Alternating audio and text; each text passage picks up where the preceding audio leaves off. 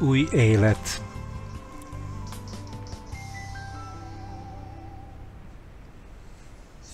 Hello mindenkinek, jó estét kívánunk! Köszönjük, hogy együtt vannak velünk az új életbeszélgetés sorozaton Dr. Michael Lightmannal. Hello, Dr. Michael Lightman, hello, Nica Mazoz, mondja Aurel Levi. Ma szeretnénk Dr. Lightmannal beszélni a koncepcióról, hogy mi a hit ereje az egyiptomi kivonulás történetének megfelelően Mózes félt attól, hogy a nemzet esetleg nem hisz neki, meg más dolgok a hittel kapcsolatban, meg a hitrendszerrel kapcsolatban, tehát Nica kezdje, Nica Mazusz.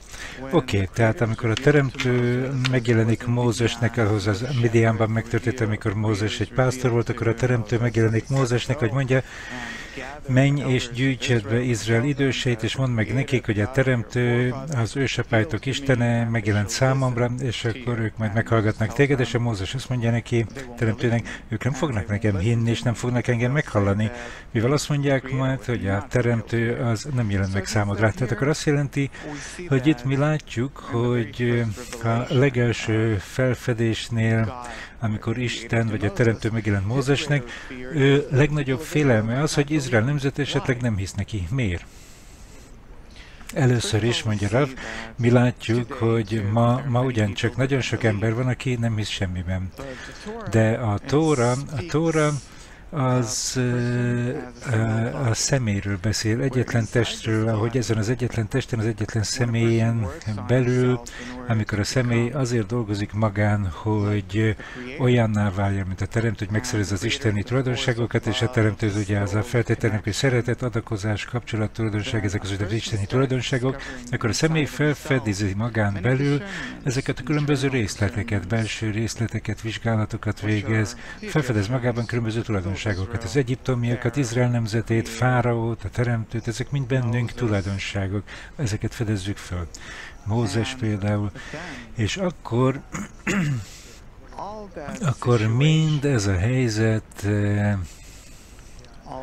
az összes állapotok, amelyekről olvasunk a Tórában, a személy felfedezi, hogy ez mind benne történik, saját magán belül. Saját magán belül. Mondjuk azt, hogy ő felfedezi saját magán belül, hogy ő el akarja érni az adakozási szeretet tulajdonságát, amit úgy nézünk, hogy hit emuna héberül. Mi azt hiszük, hogy a hit, vagy az emuna, az valami, hogy én hiszek valamiben vakon, amit nem látok. És akkor én úgy cselekszem, mintha látnák valamit, pedig nem látom. De ez nem így van, nem ez a hit. Mi a hit? A hit, a hit az az adakozás tulajdonság, az adakozás képesség, az adakozás képessége, amit megszerzek tudatosan, eh, metodikusan. És ez az erő, ez segít engem, hogy képes legyek magamon kívül dolgozni, hogy magamon kívül cselekedjek, nem a saját érdekemben, hanem mások érdekében. És akkor ezen keresztül dolgozunk a teremtő érdekében. Oké, okay, tehát akkor a szeretet és az ereje. Mi köze ennek a hithez? Ez maga a hét, ez maga a hit, mondja rá. Tehát emuna, maga a hit, ez az adakozás képessége, a szeretet és adakozás tudatossága, az a hit, igen. A személynek kezdetől fogva a természetes hajlama az, hogy magát szeresse, magának dolgozzon, és minden, ami hozzátartozik, ez a legdrágább dolog a személy számára. Önző számításokat végez, amikor ő a világ központja, nélküle bármi történik a világban, nem tud semmit, nem érdekli semmi, ami körülötte forog, az fontos számára. Számára a világ körül nem létezik létezik, csak az, ami önmagára vonatkozik. Ez az önszeretet, ez a természet, amivel megszülettünk. És ez az, ahogy a személy fejlődik. Vannak olyan emberek, akikben hirtelen, hirtelen valami fajta gondolat, megjelenik egy új gondolat, hogy mi ennek az értelme, miért, miért vagyok így, mi történik az életemben, és így tovább. Ez a kérdés, ez a kérdés, ez, ez egy belső fejlődés eredménye, ahol a személy egyre inkább kifejlődik, és akkor elkezdi kérdezni, hogy mi az életem értelme, miért élek, mi ennek az egésznek a célja, élek 50 évig, vagy 120 évig nem számít, így vagy úgy, az életnek vége, és akkor mi az ennek a haszna, mi ennek az egésznek az értelme, mert érzem, hogy a gyerekeim, azok is elkezdik, aztán befejezik valahol, ugyanúgy a unokáim, tehát akkor ebből az következik az, hogy hogy igazából nincs haszna, nincsen igazolt értelme ennek az életnek. Nem látom, hogy mi az értelme, nem tudom igazolni, hogy van értelme. A természet az nagyon okos, a természet nagyon bölcs. Mi látjuk, hogy minél inkább kutatjuk a testünkkel, köveleti, növényi, állati szinteket, az egész rendszert összességében, minél inkább kutatjuk ezt a rendszert, amely összekapcsolja ezeket a részeket egymással, a köveleti, növényi, állati és emberi szinteket, mi azt látjuk, hogy ez mind hogyan történik egy nagyon okos módon, és ez mind egyetlen forma, egyetlen kép, egyetlen rendszer, amely halad előre, és minden egyes részlet és részletek együtt, ezek össze vannak kapcsolódva, integrálnak egymással, de mi nem tudjuk, hogy mindegyik rendszer miért létezik önmagában. Valami fajta oknak kell lenni, mint hogy van egy oka, hogy létezik minden egyes részecske az egyénben, meg sejt. Biztosan van valami oka, hogy mindezek a részek és a rendszerek léteznek ebben az egyetlen csodálatos rendszerben, ebben a nagyon okos rendszerben. Csak mi egyelőre nem tudjuk, mivel a rendszer maga az felettünk van. Mi a rendszeren belül létezünk mindennek a részét, de nem értjük a rendszernek a, a szisztematikus összefogó rendszerét és, és és tervét. Nem rendelkezünk az érzékkel, nem rendelkezünk az értelemmel, hogy megértsük ezt a rendszert. Azaz, hogy hogy mi nem nyeljük ezt a rendszert magunkba, és azt mondjuk, hogy oké, okay, akkor most már megértem, hogy ez a kövületi, ez a növénye, ez az emberiség, ez az egész univerzum, mi mindennyien együtt, ahogy létezünk, bizonyos ö, ö, ö, törvények alapján, hogy összekapcsolódunk egymással, és akkor minden egyes részecske mit ad hozzá élete során, és esetleg mit tesz hozzá, miután elhalálozik látszólag, és akkor esetleg itt is tehát, hogy mi a szüksége a létezésnek, meg meg hogy van valami valami alapanyagok, amelyek valami átadnak, hogy azok helyettesítik, kicserélik egymást rendszer, aztán a másik rendszer, és így tovább. Tehát ez mind egy önző rendszer, ahol minden egyes részlet, az csak saját magára gondol látszólag, az egyén kapcsolaton erőn keresztül, mely összekapcsol minket egymással, és az erők, amelyek összekapcsolnak minket egymással, azok nem vesznek minden egyes részletet figyelembe, hanem azok csak az összes részletet együtt veszik figyelembe, mivel a követi növény és állat és beszélő részek, azok együtt, az csak egyetlen rendszer. Tehát ez a lényeg, hogy amikor összeállnak, akkor vesznek figyelembe véve. És én nem tudom, én nem érzem, nem érzem, hogy mi ez az általános program, az általános gondolat, annak a kezdete, annak a folyamata, annak a vége. Én ezt nem tudom, én ezt nem ismerem, mivel mivel az én hajlamom, az én hajlamom, az nagyon egyszerű, az én programom nagyon egyszerű, hogy megtartsam saját magamat egy egoisztikus módon, egy bizonyos egoisztikus módon, minden egyes pillanatban, létezése minden egyes pillanatában, és ez, létezem, ez dolgozik bennem, és nem vagyok képes kilépni ebből, de, de, a beszélőnek a szintje, amely létezik ebben az egész rendszerben, az bizonyos fejlődésen megy keresztül. Mi látjuk, hogy az emberek hogyan fejlődnek generációról generációra, egy nagyon, egy nagyon gyors módon, egy aránylag gyors módon, és akkor, akkor vannak olyan emberek, akikben ez a kérdés hirtelen felébred, mint hogyha a programon kívül lenne, hogy gondoskodik, és csak magára gondol, az egész élete csak ez, de szereti megismerni a rendszert, hogy ez hogyan működik, miért, mi ennek az értelme, mi történik, és ez a kérdés, ez a kérdés, ez valóban elkezd aggodalmat okozni nekik, ez foglalkoztatja őket, és nem hagyja, hogy megnyugodjanak, nem ad nyugalmat, és akkor tudniuk kell, és ennélkül úgy érzik, hogy az életük üres, és így tovább. És természetesen az általános folyamattól függően, amiről beszéltünk, mi a generációról beszélünk, tehát egyre több ember van, aki ezt a kérdést kérdezi, és hogyha mi arról a generációról beszélünk, ami, ami ami már nem él megfelelő bőséggel, tehát végül is már látjuk, hogy mindenféle kataklizmus problémák vannak, az emberek egyre inkább gondolnak erre, egyre több probléma jelenik meg, minél inkább kérdezzük ezeket a problémákat, és általában kérdezzük, hogy mi az élet értelme, és így tovább, azaz, hogy ezek a magasztok kis kérdések az élet értelméről, az általános programról, hogy ez hova visz minket, hogy mi történik velünk, azaz, hogy mi fölébresztjük a kis körünkben ezt a kérdést, ahol mindenki egyénileg létezik, ez ugye függ attól a mértéktől is, amikor a mértékben él, hogy jól érzem magam, vagy rosszul érzem magam a személyes életemben. És az emberek, akik kérdeznek erről, azok, minthogyha elkezdenének fölébredni, akkor, mint hogyha szeretnék megérinteni az általános programot, bár az ő egyéni programjuk az nagyon rövid és nagyon egyszerű élsz, megpróbálod megnyugtatni valamit, amíg élsz, és utána meghalsz. Addig jól érzel, gondoskodsz magadról, az utódaidról, ahogy a természet elrendezte ezt a dolgot számomra egyrészt, másrészt viszont látjuk, hogy valószínűleg a fejlődésünk során nekünk el kell jussunk egy megértéshez, hogy megértsük az egész rendszert, és hogy mi ennek a rendszernek a lényege. Ennél fogva, ennél fogva nagyon sok ember azt keres tudósok, nagyon egyszerű emberek, és az egész életünk pontosan mivel mi az egyéni programunkon belül vagyunk, mi az életünket így építjük szándékosan, tudatosan, és eh, tudat alatt is, hogy mi szeretnénk elnyomni ezt a hatalmas kérdést magunkban, hogy mi az élet értelme, hogy mi az életünk értelme, miért élünk, hogy mi ez a nagy rendszer, ami körülöttünk van, mivel ez keserűvé teszi az életünket.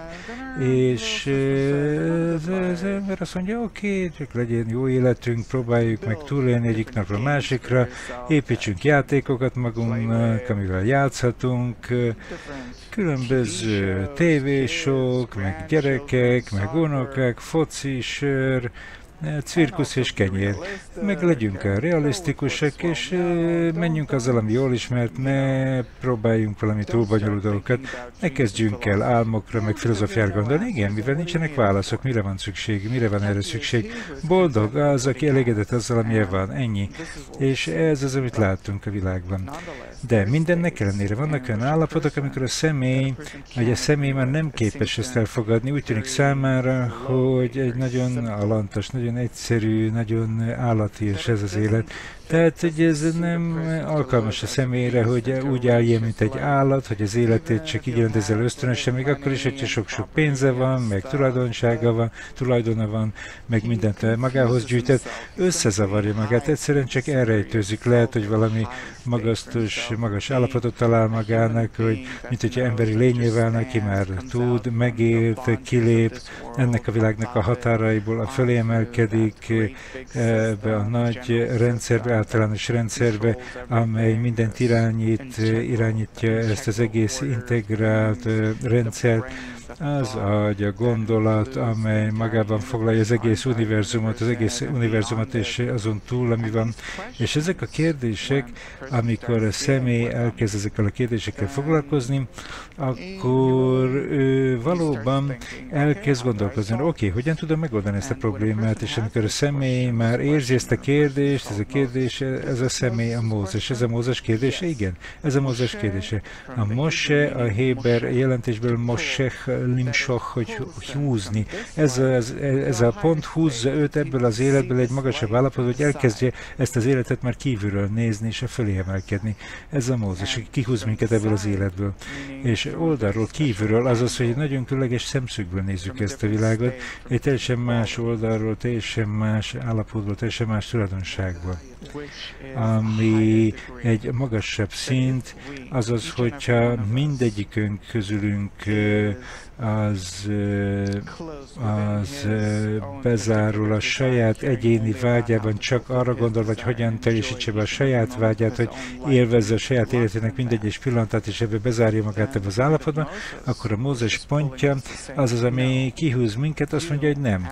Neked ki kell lépned ebből a vágyból, ki kell lépned abból, hogy csak csak magadról gondolsz, hogy magadról gondoskodsz, és kell, kell arra gondolnod, hogy hogyan lehetsz egy ellentétes valóságban, egy különböző valóságban, ahol már nem csak magadra gondolsz, nem csak a saját kicsiny, egyéni vágyaidra, meg a körödre gondolsz, ahol mi, hanem az egész hatalmas, általános valóságra kell gondolni, amit el tudsz képzelni, kövületi, növényi, állati és emberi szinteket, ahol mindennyien össze vagyunk kapcsolódva egyet a hatalmas integrált rendszerbe, ahol belső kapcsolatok vannak minden között, több ezernyi különböző módon, kicsiny szállacskákkal mindenki összekapcsolódik, és akkor ezeken a vonalakon keresztül, a kapcsolat fonalain keresztül állandóan az érdekel minket, hogy az általános rendszer hogyan működik, hogy miközben előzőleg csak a kicsiny egyéni rendszerre gondoltál, tegyük fel, hogy van egy bizonyos megfigyelés, amikor már képes az egész rendszer gondolni.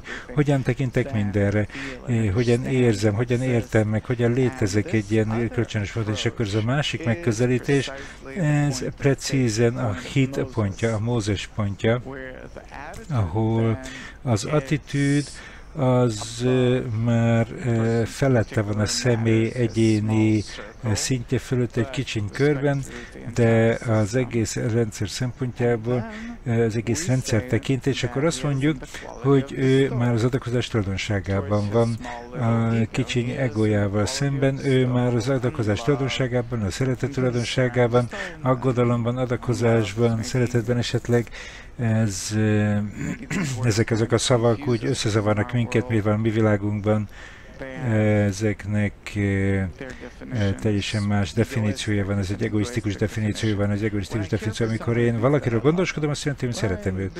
Amikor én adakozok, amit az érdekébe akarok, akkor azt jelenti, hogy adakozásban vagyok, az az, hogy kiléptem a saját, saját önző számításaimból, gondolkodásomból, hogy nem csak magamról gondoskodok, hanem képes vagyok már gondoskodni az egész rendszerről, annak a jólétéről, amikor a mértékben képes vagyok a saját erőben. Ezt nevezzük úgy, hogy hit. És akkor Mózes.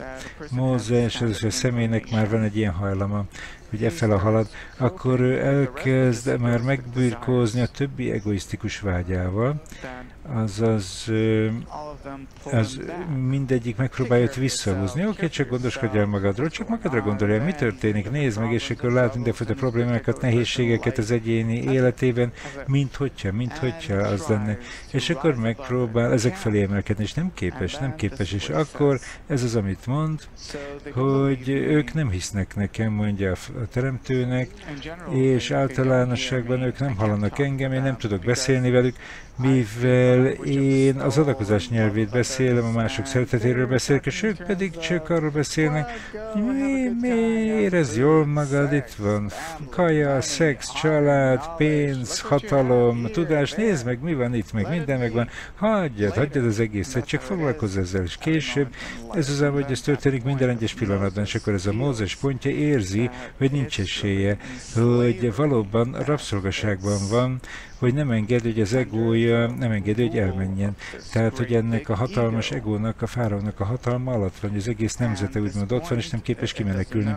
És akkor nem tudja, hogy hogyan menekülhet meg onnan, hogyan emelkedhet-e fölé, és néha megvan az ereje, hogy legalább beszéljen erről, vagy beszéljen ezzel az egóval, vagy valami fajta követelést adjon,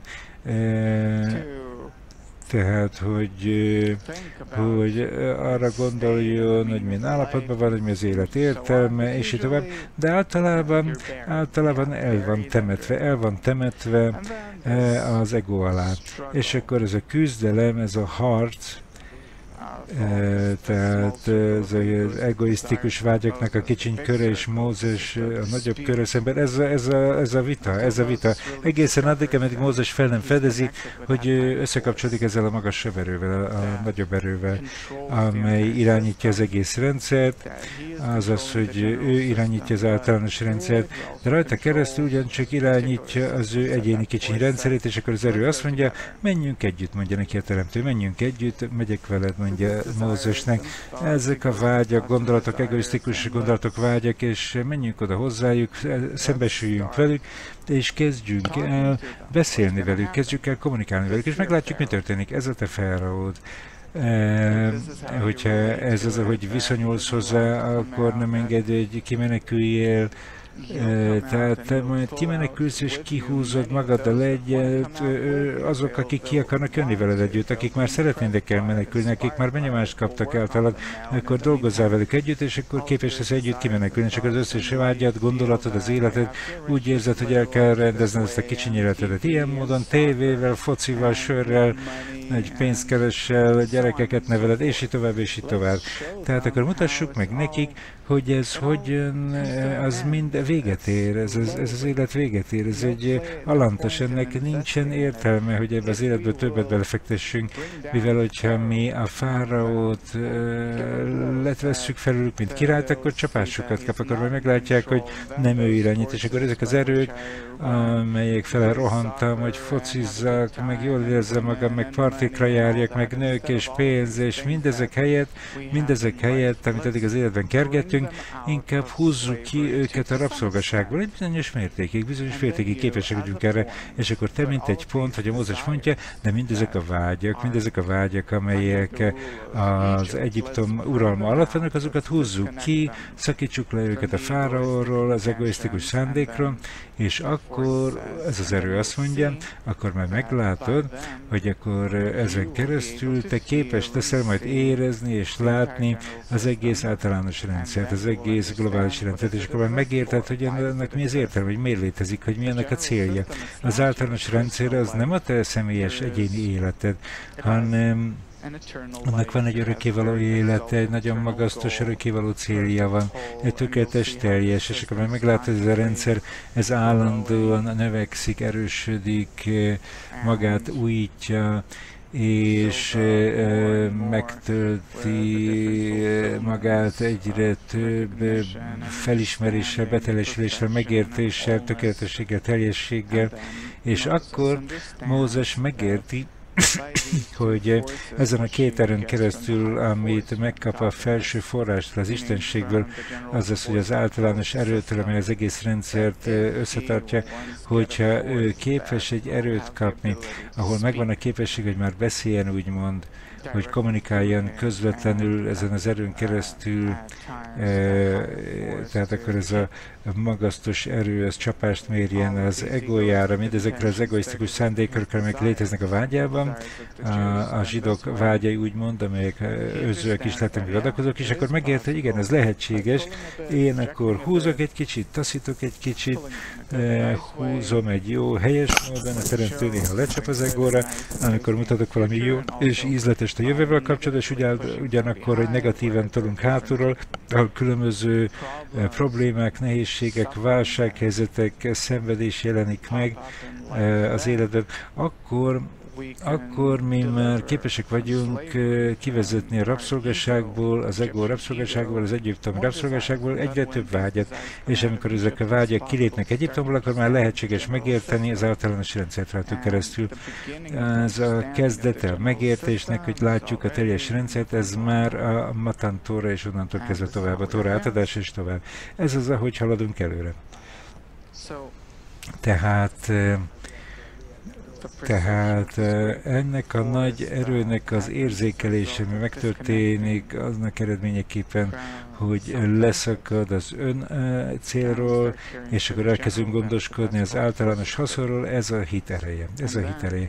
És akkor, akkor ettől a ponttól kezdve, amely Mózes kicsiny pontja, amely csak mint egy üttörő ki akar szakadni a teremtő, vagy a fára uralma tehát valóban elmenekül, aztán visszajön, hogy másokat is kihúzzon össze, hiszen egyedül nem képes arra, hogy mindent elérjen. Ebből az következik, hogy most, most az összes többi vágyai, amiket addig Egyiptomban hagyott, és most visszajön értük, képes megrementeni őket, képes korrigálni őket, hogy nekik is legyen már adakozási szándékuk, azaz, hogy azok is képesek legyenek aggódni az egész általános rendszerért. Ez a ez a, a Tóra erejének a megvalósítása azzal az egyetlen fő e, principummal, hogy szeres felveladni saját magadat is. A Mózes ennek a kezdőpontja, azaz ez a legdrágább, legfontosabb pont minden egyes személyben. Oké, okay, ez a szeres felveladni saját magadat, mi köze van ehhez? Mivel a szeres felveladni saját magadat azt jelenti, hogy én, mint egy egyéni személy a rendszerben, vagy egy sejt ebben a rendszerben, az egész rendszerről gondoskodok, és akkor megismerem őket, érzem megszerzem őket, én akkor, mint hogyha megszerezném őket az aggodalmon keresztül. De azt mondtad, hogy szeres felebeltetni saját magadat, akkor mit jelent ez a másik, akit szeretném kell a másik? Mi köze ennek az egész rendszer a másik? Hiszen mindegyikünk az rendszer, rendszer tagja. Ebben az életben is hogyan valósítom meg, hogyha én gondoskodom, eh, gondoskodom másokról, emberekről, akkor rajtuk keresztül megismerem a rendszert, eh, mert kapcsolatba kerülök a rendszerrel, tapinthatóan, egy valódi módon. És akkor um, azok a másik emberek, akik nem képesek megélni, ez aki Izrael nemzet, akik próbálják ezt de nem képesek. Izrael héberül Yeshar kell, egyenesen a teremtőhöz, egyenesen a teremtő irányába.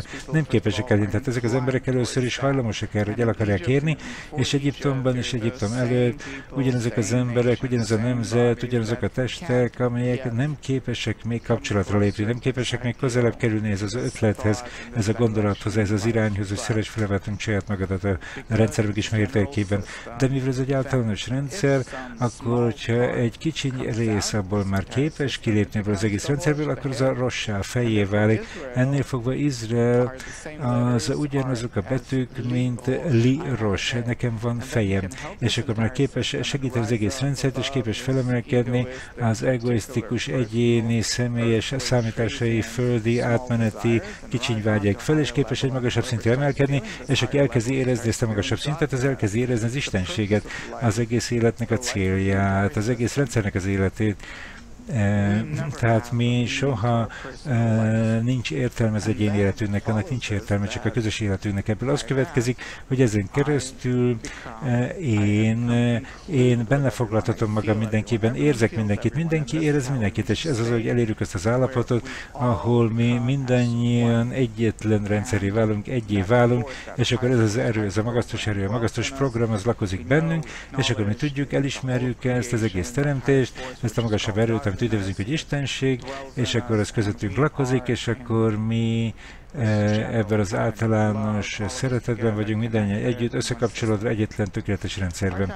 Oké, okay, az időnk majdnem letelt, egy, e, egy mondattal akkor mi a hit ereje? A hit ereje az az erő, amely összekapcsol minket egymással egyetlen rendszeré.